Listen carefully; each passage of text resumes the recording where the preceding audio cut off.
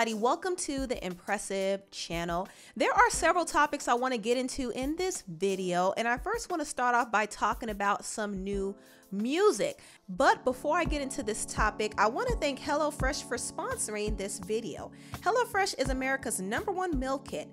I've been using HelloFresh for a while now, and let me tell you, it's the real deal. With delicious, family friendly, calorie smart, pescatarian, and vegetarian options every week, HelloFresh makes it easier to eat well. Plus, every recipe is packed with fresh produce sourced directly from farmers. Also, HelloFresh's pre portioned ingredients means there's less prep for you and less wasted food. Now, the holidays can be hectic, but HelloFresh recipes and ingredients allow you to cut out grocery shopping, and their limited edition holiday boxes deliver everything you need to cook up a holiday family feast. No planning necessary. This week, I decided to go with the vegetarian options, and the dish you see me cooking here is the mushroom and herb shepherd's pie. Trust me, it's delicious. Go to HelloFresh.com and use the promo code Empressive14 for up to 14 free meals and 3 free gifts. That's right, 14 free meals and 3 free gifts. So start your healthy meal plan today by visiting HelloFresh.com. Now, back to the topic, I want to get into some new music. First, I want to give a shout out to Tank and the Bangas. Tank and the Bangas released a song with Big Freedia called Big. And I have literally had this song on repeat, like nonstop. I love this song. And I love Tank and the Bangas too. I think they're a very talented and very, very underrated group. So if you get a chance, please support and check out their music. Also, another song that I've been loving is Beyonce's new single called Be Alive. And this single is actually for the soundtrack for the movie King Richard, which is a biopic based off of Serena and Venus Williams' father. And I love this song. I love the message. I love how empowering it is. And I love the emotion behind Beyonce's voice.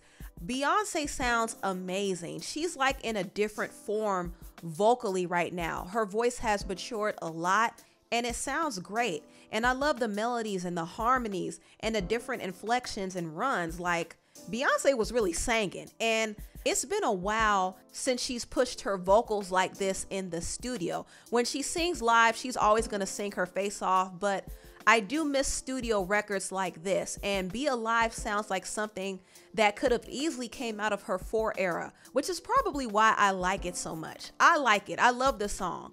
I also want to talk a little bit about Bruno Mars and the artist Anderson .Paak. They recently released their highly anticipated album, An Evening with Silk Sonic, and I actually enjoyed this project a lot. This was really a feel good album. And a lot of the sounds on this album, of course, were inspired by some of the soul songs in the 80s and the 70s, which I actually loved. I love the fact that Bruno and Anderson are kind of reintroducing newer audiences to this sound. And I think it works for them. But if I have to give a slight critique, I will say I don't think what they're doing is particularly innovative or creative. While I enjoyed the sound of the album, I do think they're kind of using a cheat code by emulating the black soul music of the past. But one thing I could appreciate is the musicianship. I could appreciate the band. I could appreciate Bruno's great vocals. I could appreciate Anderson .Paak eating up the drums in the background. I thought the album as a whole was presented really well. And I do think the album is going to do well in sales. Now, there is one R&B album that did really good in its first week, and that's Summer Walker's album Still Over It. Y'all already know that I really love Still Over It. In fact, I did do a review on it in my previous video. I think the album is definitely one of the strongest R&B albums of the year and the fact that it did so well in its first week and I mean very well for an R&B album, I think that's great. And she actually did better numbers in her first week than a lot of the pop and hip hop albums that were released this year. I'm sure the industry is scratching their heads right now to see an R&B singer like Summer outsell some of the bigger acts that had more playlisting and more promotion than she did. But I love to see it. I love that Summer is doing her thing and she's representing for R&B music. Also, another thing I want to bring up is Summer did address the rumors surrounding her deal with her label. Now, Rolling Stone did post an article about Summer signing a bad deal, but Summer did respond and say that she actually renegotiated her contract. So, the 360 deal that she signed back in 2017 does not look like the same deal that she has now.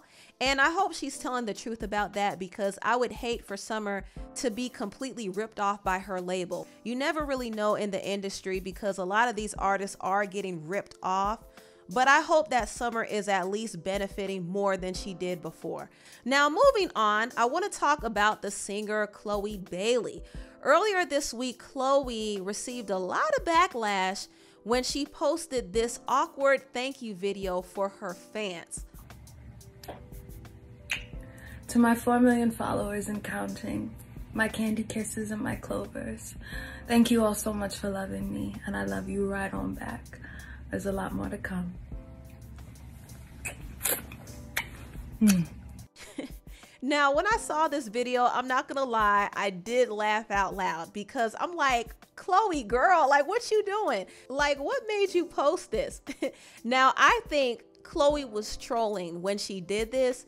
I think she was trying to get some attention because Chloe knows exactly what to do to trend and get talked about on the blogs. It's a strategy and it's something that she has been using to her advantage. But I think with this recent post, she got so much backlash. People were calling her extra and cringy and thirsty, and it was just a mess. And it got to a point where she actually had to delete her video because she was getting bullied too much. And that's kind of unfortunate. I don't think she expected that type of reaction. Like I said before, I do think Chloe was trolling. I think she was trying to be sexy, but she was doing it in a funny and satirical way. And she was doing it for attention as well. And honestly, I don't even have an issue with her doing little things to get some attention because I know it's a strategy that she's using to promote herself. And a lot of artists do the exact same thing. But I do think that she has to be a little careful of what she puts out there in regards to her image. I don't want certain antics to overshadow her talent. I don't want her to be like a Lizzo. Lizzo is very talented, but her antics have become more of a conversation than her music. And I don't want this for Chloe. I think Chloe is way too talented and she has way too much potential to go down this route. So I think she has to be a little bit more selective with what she puts out there.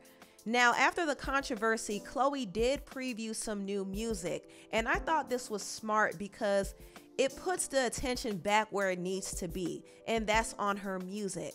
Right now, Chloe is experimenting with her sound. She's rapping a little bit, so I think it's interesting. I'm interested to hear her upcoming project and see what she has in store. Now, I want to move on and briefly talk about the actress Meagan Good and her husband, DeVon Franklin. Now, there have been some rumors going on that Meagan and DeVon are going through a rocky patch. In fact, this rumor was reported on the Rickey Smiley show, and some people have noticed that Meagan and DeVon haven't posted each other on their pages in months.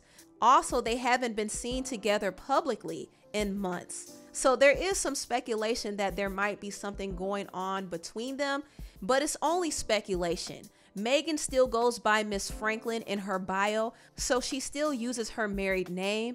Also, back in August, DeVon made a series of posts wishing Meagan happy birthday. And last month in October, Meagan posted this selfie, and in her location, she said DeVon's crib.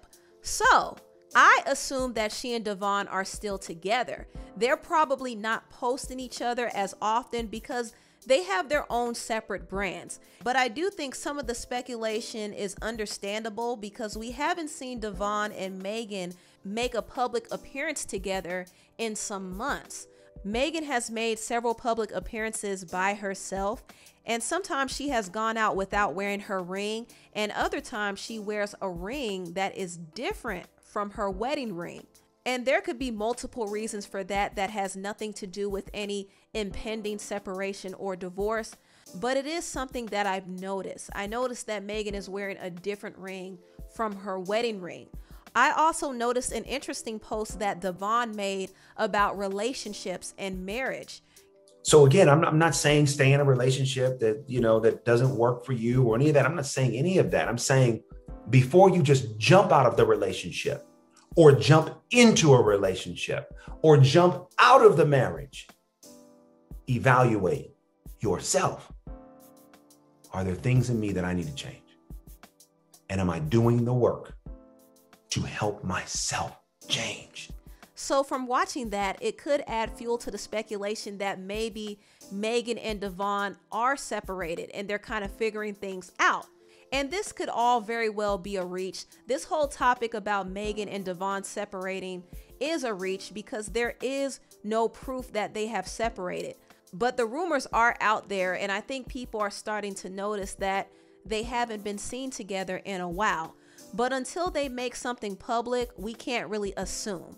We should just let them live their lives and hope for the best. Now, on to the last topic. I want to talk about Wendy Williams. It's being reported by The Sun that Wendy's show can potentially be replaced with Nick Cannon's show if she does not return anytime soon. Now, Wendy did put a message on her social media page saying that she's still taking more time off to focus on her health. Now, back in September, Wendy did go through a serious mental and health breakdown. She was actually hospitalized for psychiatric evaluation, and it was alleged that she was struggling with addiction leading up to her hospitalization. Also, she was struggling from different health complications from her Graves' disease and her COVID diagnosis. So, Wendy has gone through a lot of different health complications over the past few months, and she had to take much needed time away from her show to fully recover. However, it's being alleged that the network is getting a little impatient with Wendy because she has not yet signed a new contract for her show. Also, she's taken longer than expected to return. Now, what's interesting is since Wendy has been absent, her ratings have been steadily growing. When the actress and comedian Sherri Shepherd guest hosted for Wendy, the ratings were surprisingly decent, and Sherry got a lot of great feedback after she guest hosted. And I wouldn't be surprised if the network considered to bring her back on the show again. But I don't think Wendy wants that. I think Wendy is more comfortable with men guest hosting on her show. I understand that Wendy doesn't want the network getting any ideas to replace her with another woman. She doesn't want to deal with that competition. And I think Sherri Shepherd can potentially give Wendy some competition because the fans really liked her. But at the end of the day, nobody can replace Wendy Williams. She's the reason why people watch her show. She's the one who built her show. So nobody can replace her. But there are some people who can compete with her. And the longer she stays out, the more the networks are going to try to look for that contender. As of right now, the network is actually eyeing Nick Cannon. Now, Nick Cannon has his own show right now, and it was reported that his ratings weren't all that great. In fact, his show only debuted with 400,000 viewers, which is a lot less than what Wendy brings in on average. So he underperformed, and I don't know if he's going to be the best contender, but according to The Sun, it's being reported that if Wendy does not sign her new contract and return to her show, Nick Cannon will allegedly replace her slot on daytime TV. I don't know if this is true or not, but this is being alleged. But anyway, tell me what you all think about this situation down below. Please like, comment, and subscribe, and share this video if you care. Thank you so much for watching, and I'll see you next time. Bye.